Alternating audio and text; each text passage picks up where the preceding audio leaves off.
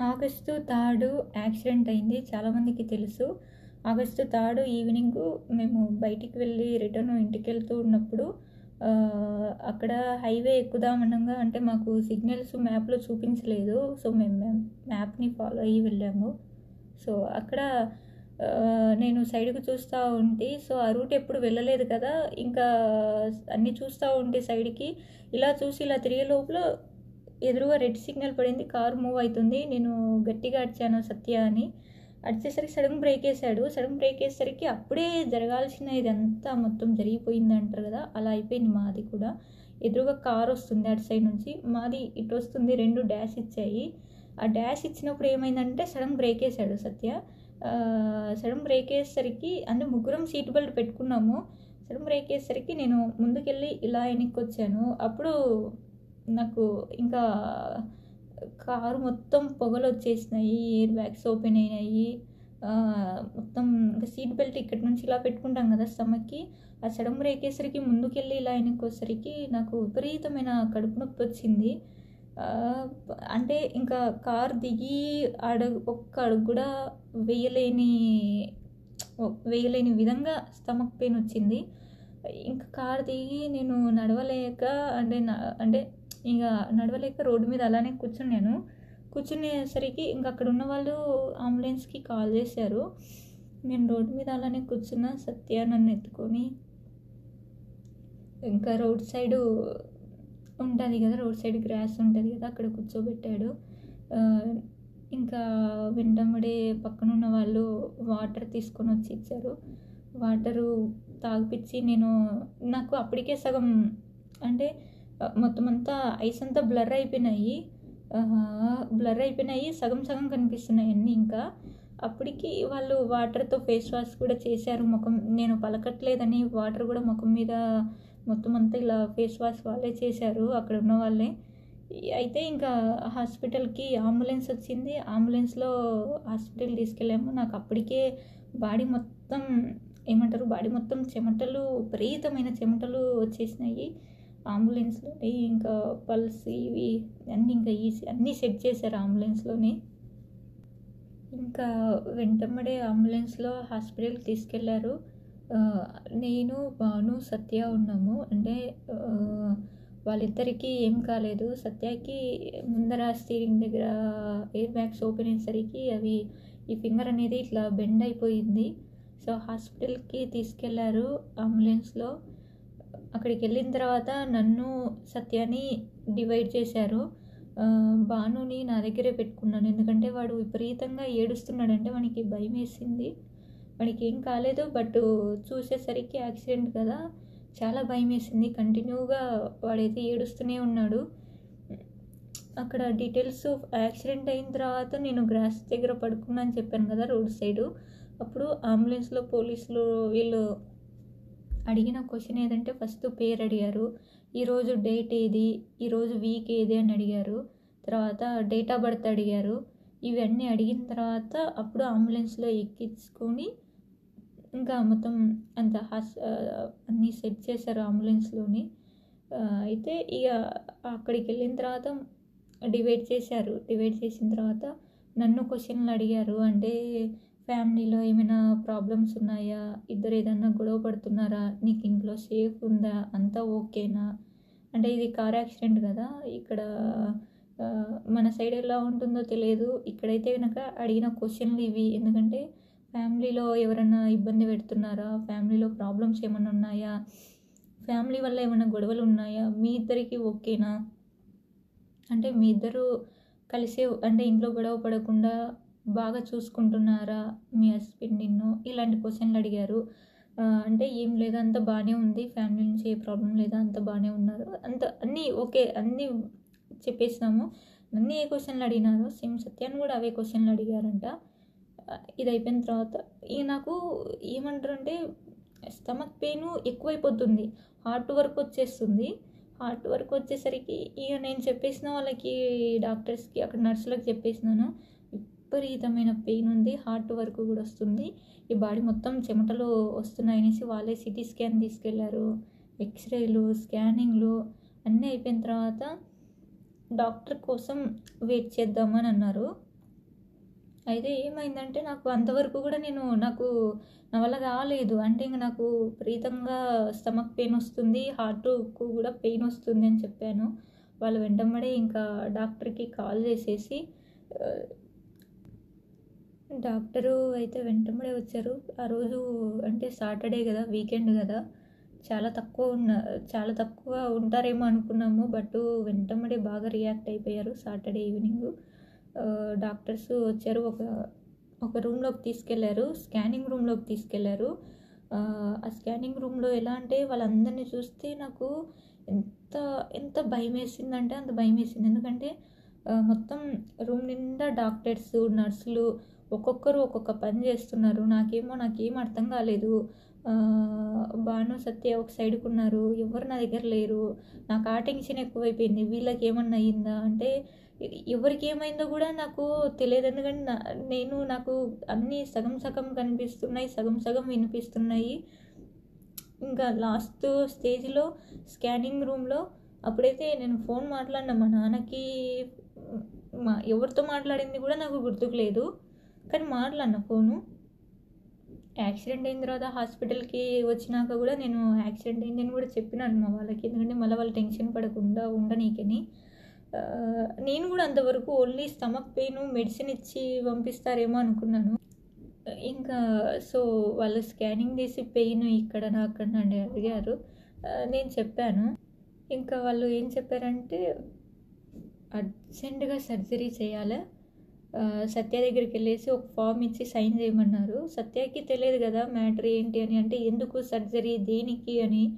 అయితే సత్యతో వాళ్ళు ఒకటే చెప్పారంట మీరు సైన్ చేసినా చేయకపోయినా మేమైతే సర్జరీకి తీసుకెళ్తాము. చాలా అంటే చాలా సీరియస్ అంటే ఇంకా చెప్పారు ప్రాబ్లం ఏంటంటే ఇంటర్నల్ బ్లీడింగ్ ప్రాబ్లం వచ్చేసి ఇంటర్నల్ బ్లీడింగ్ నాకు పైన ఒక దెబ్బ కానీ గీత కానీ అంటే లైక్ ఇట్లా గీసుకపోవడం కానీ ఏమీ లేదు. సో దానివల్ల నేను ఏమనుకున్నానంటే నా బాడీకి ఏం కాలేదు. గీత కూడా పర్లేదు జస్ట్ స్టమక్ పెయిన్ మెడిసిన్ ఇచ్చి పంపిస్తారేమో ఇదే మైండ్ సెట్టే ఉన్నది నాకు అంతవరకు. ఎప్పుడైతే ఆ స్కానింగ్ రూమ్లో అంతమందిని చూశానో ఇంక అప్పుడు నాకు భయం స్టార్ట్ అయ్యింది. ఎందుకంటే ఇదేదో చాలా సీరియస్ అయ్యేలాగానే ఉంది అని. అయితే చెప్పారు ఇంటర్నల్ బ్లీడింగ్ అవుతుంది అర్జెంటుగా సర్జరీ చేయాలా మేమైతే తీసుకెళ్తాము. నువ్వు మళ్ళైనా సైన్ చేయమని వాళ్ళకి ఫామ్ ఇచ్చారంట సత్యకి. సో నాకు చెప్పారనమాట సర్జరీ చేయాలి అని చెప్పారు. నాకు టెన్షన్ అయింది నేను అడిగాను ఇంకా సత్యం మీరు కూడా రండి నాతో పాటు నా దగ్గరే ఉండండి అని. ఎందుకంటే నాకు అంత భయం వేసింది ఎవరు లేరు కదా ఇక్కడ. అయితే ఇంకా అక్కడ మన ఇండియన్ నర్సు ఉంది ఒక ఆమె హిందీ హిందీ అనుకుంటా తను. తను చెప్పింది ఏం కాదు నీకంతా సెట్ అయిపోతుంది మేమంతా క్లియర్ చేస్తాము. నువ్వు స్మైల్తో బయటకు వస్తావు స్మైల్ ఇస్తావు నువ్వు. ఈ సర్జరీ అయిపోయిన తర్వాత మేము అంత బాగా చూసుకుంటాము. యూ డోంట్ వరీ అని చెప్పింది. అయినా సరే ఎంత చెప్పినా మన వాళ్ళు ఉంటేనే కదా. అయినా సరే నేను నేను చెప్పాను నా హస్బెండ్ని ఇక్కడికి రమ్మని చెప్పమని. అంటే నాకు ఆమె అలో చేయరు ఇది సర్జరీ నీకు అయిపోతానే ఇన్ఫామ్ చేస్తాము వాళ్ళు వచ్చి నీ దగ్గరికే వస్తారన్నది. సరే అని చెప్పాను ఇంకా మనం ఏం చేయలేం కదా. ఇంకా సర్జరీలోకి థియేటర్లోకి తీసుకెళ్ళారు అయిపోయింది. Three and half four hours ఏమో సర్జరీ చేశారు. ప్రాబ్లం వచ్చేసి ఇంటర్నల్ బ్లీడింగ్ అది సెట్ అది మేము సెట్ చేస్తాము సర్జరీ చేసి అన్నారు. అయిపోయింది. Three and half four hours అయిపోయింది సర్జరీ సర్జరీ కంప్లీట్ అవ్వడానికి. నాకు సర్జరీ కంప్లీట్ అయ్యే లోపల భానుకి సత్యకి ఇద్దరికి ఎక్స్రేలు స్కానింగ్లు వాళ్ళకి అంటే వాళ్ళకి కూడా చేయాలి కదా. కార్ యాక్సిడెంట్ అయింది కాబట్టి ముగ్గురికి చేయాలి. భానుకి బా వాడు చిన్నపిల్లోడు కదా వాడికి చెప్పలేనిటివి కూడా స్కానింగ్లు ఎక్స్రేలు అన్నీ తీశారు. సో వాళ్ళిద్దరికి ప్రాబ్లం ఏం లేదు. వాళ్ళిద్దరూ ఓకే. నాకేదంటే నాక సడన్ బ్రేక్ వేసరికి నా స్టమక్ అనేసి సపోర్ట్ చేయలేదు అంత. అంటే సడన్ బ్రేక్ వేసరికి ముందుకెళ్ళి ఇలా ఎన్నికి వస్తాం కదా. అందుకు నా నా బాడీ సపోర్ట్ చేయలేదు దానికి. అందుకు ఇంటర్నల్ బ్లీడింగ్ అయిపోయి సర్జరీ మేజర్ సర్జరీ చేశారు. Three and half four hours time పట్టింది. తర్వాత కొన్ని అవర్స్ ఐసీయూలో కూడా పెట్టారు. నెక్స్ట్ డే మార్నింగ్ వరకు కూడా నాకు కనిపించలేదు వినిపించలేదు. సత్య వెళ్ళి అడిగాడంట. తనకి కనిపించలేదు. మళ్ళీ మళ్ళీ నన్నే అడుగుతుంది. I want to see Satya అని అంటే వాళ్ళు ఒక నర్స్ వచ్చి తను ఇంకా సర్జరీ చేసిన మత్తులోనే ఉంది. ఇంకా ఇంకా టైం పడుతుంది. సో వెయిట్ చేయాలని అన్నారు. నెక్స్ట్ డే మార్నింగ్ నాకు మెలకు వచ్చింది. నేను మార్నింగు నాకు మార్నింగ్ మెలకు వచ్చింది. తర్వాత అసలు ప్రాబ్లం ఏంటి అనేది కూడా నాకు అర్థం కాలేదు. ఏమైందని కూడా నాకు తెలియదు. కాళ్ళకేమో అవి పెట్టారు మిషన్లు పెట్టారు. నాకు టెన్షన్ అయింది. నా కాళ్ళకి ఏమన్నా అయిందా అని. అంటే అంత అంత అంతకుముందు నాకు సర్జరీ చేయకముందు నాకు చెప్పారు. ఇంటర్నల్ బ్లీడింగ్ అని నాకు గుర్తుకు లేదు ఎందుకంటే నేను నా భయము నా టెన్షన్ వేరే ఉన్నది కాబట్టి నాకు అంతగా కనిపించలేదు వినిపించలేదు కూడా. లాస్ట్ స్టేజీ నుంచి నేను బయటికి వచ్చాను. అని చెప్పొచ్చు. ఇది నాకు మళ్ళీ రెండో జన్మ అని కూడా చెప్పొచ్చు. ఎందుకంటే చాలా అంటే చాలా ఆ పెయిన్ ఒక నరకం అంటే ఎవరికి కూడా రావద్దని అనుకోవాలి. ఎందుకంటే అంత పెద్ద మేజర్ సర్జరీ అయింది. ఇంకా సర్జరీ అయిపోయిన తర్వాత నెక్స్ట్ డే నుంచి మాకు క్వశ్చన్లు మళ్ళీ స్టార్ట్ అయిపోయినాయి. ఇన్సూరెన్స్ వాళ్ళు కాల్ చేశారు. సత్యాకి వన్ అండ్ హాఫ్ అవర్ వరకు క్వశ్చన్లు అడిగారు. యాక్సిడెంట్ డీటెయిల్స్ అన్నీ అయిపోయినాయి. సో ఇప్పుడు వచ్చేసి ఈ సిక్స్ డేస్ హాస్పిటల్లో ఉన్నాము. సిక్స్ డేస్ తర్వాత బాడీ కండిషన్ అంతా ఓకే అంటేనే డిస్ డిశ్చార్జ్ అన్నారు. అది ఫోర్ డేస్ కానీ ఫైవ్ డేస్ కానీ సిక్స్ డేస్ కానీ సెవెన్ డేస్ కానీ. కానీ నాకు సిక్స్ డేస్ వరకు నేను హాస్పిటల్లో ఉన్నాను. తర్వాత అంతా ఓకే అని డిశ్చార్జ్ చేశారు. డిశ్చార్జ్ చేసినాక టూ వీక్స్కి ఈ స్టిచ్చెస్ రిమూవ్ చేయాలి. మళ్ళీ అపాయింట్మెంట్ ఇచ్చారు రమ్మని. అది అయిపోయిన తర్వాత టూ వీక్స్ తర్వాత ఇప్పుడు మెడికల్ బిల్లులు చెప్తాను. మెడికల్ బిల్లులు వాళ్ళిద్దరికి వచ్చేసి అంటే ఇన్సూరెన్స్ పోగానే చెప్తాను వాళ్ళిద్దరికి. భానుకు వచ్చేసి రెండు వేల ఒక వంద రెండు వేల ఒక వంద డాలర్లు బిల్ వేశారు. ఇన్సూరెన్స్ అంతా పోను. సత్యాకి వచ్చేసి రెండు వేల డాలర్లు బిల్ వేశారు. వాళ్ళిద్దరిది ఇన్సూరెన్స్ పోగానే నాలుగు వేల డాలర్ల దాకా బిల్ వచ్చింది. నాలుగు వేల డాలర్లు వాళ్ళిద్దరిది అది. ఇప్పుడు నాకు వచ్చేసి టోటల్ బిల్లు తొంభై ఐదు వేల డాలర్లు దాకేశారు నేను పక్కన కూడా అదేమంటారు స్క్రీన్ షాట్ పెడతాను. అంటే బిల్లు ఇచ్చినది ఉంటుంది కదా మాకు అది కూడా పెట్టేస్తాను. తొంభై ఐదు వేల డాలర్లు బిల్లు వేశారు. తొంభై ఐదు వేల డాలర్లు అంటే మన ఇండియన్ రూపీస్లో ఎనభై లక్షల దాకా బిల్ వేశారు. ఈ ఎనభై లక్షలు కాక ఇప్పటికీ అంటే ఇది అక్టోబర్ కదా నాకు ఆగస్ట్లో సర్జరీ అయింది. ఇది అక్టోబర్ అయినా సరే మళ్ళీ ఇంకా బిల్లులు వస్తూనే ఉన్నాయి. పదకొండు వందలు ఎనిమిది వందలు ఏడు వందలు labour charges medical charges medicine అని ఏవో ఒకటి వస్తూనే ఉన్నాయి. ఇంకా ఇప్పటికీ కూడా ఇదైతే కనుక నైంటీ ఫైవ్ థౌజండ్ డాలర్స్ అంటే నైంటీ ఫైవ్ కే అంటే తొంభై ఐదు వేల డాలర్లు బిల్లు. ఎనభై లక్షలది. అది ఫైనల్ బిల్లు ఇంకా చేయలేదు. ఎందుకంటే అన్నీ ప్రాసెసింగ్లోనే ఉన్నాయి. నాది ఇన్సూరెన్స్ క్లెయిమ్ అవ్వాలి. అది పెండింగ్లో ఉంది. ఫైనల్ బిల్లు వచ్చిన తర్వాత మళ్ళీ ఒక షార్ట్ వీడియో పెడతాను. మెడికల్ బిల్లు ఫైనల్ బిల్లు ఇది అనేసి. ఇప్పటి వరకు అయితే ఎనభై లక్షలు వచ్చింది మన ఇండియన్ రూపీస్లో. ఇక్కడ డాలర్లు అయితే నైంటీ ఫైవ్ కే డాలర్స్ వచ్చింది. సో వాళ్ళిద్దరికీ బిల్లులు ఫోర్ ఫోర్ కే అంటే నాలుగు వేల డాలర్లు వచ్చినాయి. అంతకుముందు ఏంటంటే నాకు సత్యకి తీత్ పెయిన్ అయితే రూట్ కెనాల్ చేశారు. ఆ రూట్ కెనాలు అది సరిగా చేయలేక మళ్ళీ అదే అక్కడే ప్రాబ్లం అయింది. సో అప్పుడు కూడా మెడికల్ ఇక్కడ డెంటల్ మామూలుగానే కాస్ట్ ఇంకా తెలిసినది ఇక్కడ డెంటల్ చాలా ఎక్కువ. అందరికీ తెలుసు డెంటల్ ఇక్కడ ఎక్కువ అనేసి ఇండియాకి వచ్చినప్పుడు చేయించుకుంటారు అందరూ. ఆ బిల్లులు ఈ బిల్లులు చాలా అంటే చాలా ఎక్కువ అయిపోయినాయి. సో మేమైతే మెడికల్ లోన్కైతే అప్లై చేసాము మెడికల్ లోను తీసుకొని వాళ్ళిద్దరికీ వాళ్ళిద్దరికీ అంటే ఆఫ్ ఆఫ్ కట్టాము. ఎందుకంటే మాకు చాలా ఇంకా హాస్పిటల్లో ఒక రోజు ఉంటేనే చాలా ఖర్చులు వస్తాయి. అట్లాంటిది ఆరు రోజుల హాస్పిటల్లో ఉన్నాము. విపరీతమైన ఖర్చులు వచ్చాయి. మేము ఇంకొకటి ఇక్కడ నాకు ఈ త్రీ డేస్ వరకు వాటర్ కూడా ఇవ్వలేదు. సర్జరీ తర్వాత త్రీ డేస్ వరకు వాటర్ ఇవ్వలేదు. నాకేమో వాటర్ కావాలనిపిస్తుంది. బట్ వాళ్ళు అడిగితే కనుక ఇవ్వమన్నారు.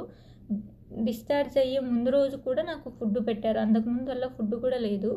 సో ఇది అక్టోబరు నేను ఇంటికి వచ్చిన తర్వాత ఆగస్ట్లో డిశ్చార్జ్ అయిన తర్వాత టూ వీక్స్ తర్వాత రమ్మన్నారు. టూ వీక్స్ తర్వాత వెళ్ళి స్టిచ్చెస్ అన్నీ రిమూవ్ చేయించాను. రిమూవ్ చేయించిన తర్వాత మళ్ళీ మెడికల్ చెకప్కి రమ్మన్నారు. వెళ్ళాను. అప్పుడు వచ్చేసి నాకు వాళ్ళు స్టమక్ దగ్గర చెక్ చేశారు. పెయిన్ ఉందా పెయిన్ ఉందా అని. ఒక చోట పెయిన్ అని పెయిన్ అని చెప్పాను. పెయిన్ అంటే కనుక మళ్ళీ సిటీ స్కాన్ అన్నారు. సిటీ స్కాన్కి వన్ వీక్ టైం పడుతుంది. అంటే మాకు ఇన్సూరెన్స్ నుంచి పర్మిషన్ రావాలా? అది వన్ వీక్ టైం పడుతుంది. మళ్ళీ వెళ్ళాము. సిటీ స్కాన్లో అంతా ఓకే ఏం లేదు నార్మల్. అది అప్పుడప్పుడు అలా వచ్చిపోతూ ఉంటుంది అని. అన్ని ఇంకా ఎన్ని టెస్టులు ఉన్నాయో థైరాయిడ్ ఇంకా ఎన్ని టెస్టులు ఉన్నాయో అన్నీ అన్నీ చేశారు. మెడికల్ టెస్టులు సిటీ స్కాన్ ఎక్స్రే మళ్ళీ అన్నీ అప్పుడు ఏం చేశారు? అన్నీ చేశారు. అన్నీ ఇప్పుడు నార్మల్గా ఉన్నాయి. మెడికల్ బిల్లులు ఇంకా అది ప్రాసెసింగ్లో ఉన్నాయి. దానికి నేను తర్వాత ఫైనల్ బిల్ వచ్చిన తర్వాత షార్ట్ వీడియో పెడతాను. ఇప్పుడు ఇంకా కారు. కార్ అయితే ఏమీ లేదు. ఎందుకంటే ఇంకా అది దాన్ని రిపేర్ చేయించుకోవడం కంటే కొత్త తీసుకోవడం మేలు అన్నారు సో కారుకి మేము కట్టాల్సిన ఈఎంఐ ఇప్పుడు ప్రజెంట్ ఆ కారు ఏ రేట్లో పోతుంది యాక్సిడెంట్ అయిన తర్వాత అవి రెండు బరాబర్ అది రెండు చూసిన తర్వాత మేమే ఇంకా ఉల్టా రెండు వేల ఐదు వందల డాలర్లు పే చేయాలంటే రెండు వేల ఐదు వందల డాలర్లు ఇంకా చెప్పాము క్రెడిట్ కార్డ్తో కడతాము అని చెప్పాము. ఓకే చెప్పారు. ఇంకా నా మెడికల్ బిల్లులు తొంభై ఐదు వేల డాలర్లు ఉన్నాయి కదా తొంభై ఐదు వేల డాలర్లు అది ఇంకా అది ఇన్సూరెన్స్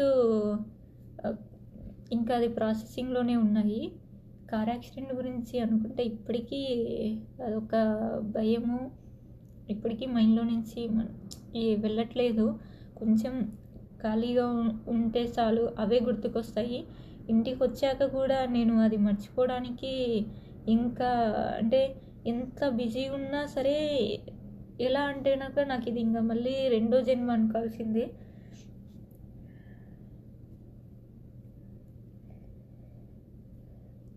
లేవలేను కూర్చోలేను సైడ్కు ఈ నేను పడుకుంటా కదా సైడ్కు కూడా సైడ్కు జరగాలన్నా ఒక యుద్ధమే అయ్యేది నడచలేను కూర్చోలేను ఏది లేదు. ఈవెన్ వాటర్ తాగాలన్నా నాకు వీళ్ళిద్దరు హెల్ప్ తీసుకునేదాన్ని. ఇక్కడ హాస్పిటల్లో ఉన్నప్పుడు సిక్స్ డేస్ ఉన్నప్పుడు ఫ్రెండ్స్ వచ్చారు. డైలీ ఎవరో ఒకరు వచ్చి చూసి వెళ్తూ ఉన్నారు. నా ఫ్రెండ్స్ కానీ సత్య ఫ్రెండ్స్ కానీ. సో లక్కీగా ఇప్పుడు మేము ఆపోజిట్ పర్సన్ వాళ్ళకు డాష్ ఇచ్చాం కదా వాళ్ళ గురించి చెప్తాను. వాళ్ళ కా- వాళ్ళకి ఏమీ కాలేదు. ప్లస్ వచ్చేసి వాళ్ళ కారు కూడా ఎక్కువ డ్యామేజ్ అవ్వలేదు. వాళ్ళ కారుకి డ్యామేజ్ అయినది మా ఇన్సూరెన్స్లో నుంచే వాళ్ళకి చేపిస్తాము. సో ఇప్పుడు అమెరికాలో కార్ యాక్సిడెంట్ మన సైడ్ తప్పు ఉంటే ఏంటి అనేది చెప్తాను. మన సైడు మా సైడే తప్పు ఉంది. ఎందుకంటే మేమే పోయి డాష్ ఇచ్చాం సిగ్నల్ చూసుకోలేక మేమే డాష్ ఇచ్చాం కాబట్టి మా సైడే మిస్టేక్ ఉంది. వాళ్ళు మా ఇన్సూరెన్స్ ఉండరు కదా. మధ్యలో ఇన్సూరెన్స్ వాళ్ళే డైరెక్ట్గా వాళ్ళకి మాకి ఎటువంటి కాంటాక్ట్ ఉండదు. ఇక్కడ మధ్యలో ఇన్సూరెన్స్ వాళ్ళే ప్రాబ్లమ్స్ అన్నీ క్లియర్ చేస్తారు. మన సైడ్ కానీ వాళ్ళ సైడ్ కానీ. సో మా సైడ్ ఇన్సూరెన్స్ కాల్ చేసి చెప్పాడు మాకు వచ్చే ఇన్సూరెన్స్ అంతా కూడా వాళ్ళకి ఎంత ఇవ్వాల్సి ఉంటుంది. వాళ్ళు డిమాండ్ చేస్తున్నారు. మన అంటే ఇప్పుడు మీ వైఫ్కు మేజర్ సర్జరీ అయింది. చాలా అంటే చాలా పెద్ద సర్జరీ అయింది. వాళ్ళకి ఏం కాలేదు. వాడు వాళ్ళకు మెడిక వాళ్ళు కూడా అంబులెన్స్లో అయితే వెళ్ళారంట మెడికల్ టెస్ట్ కోసము. ఏం కాలేదు.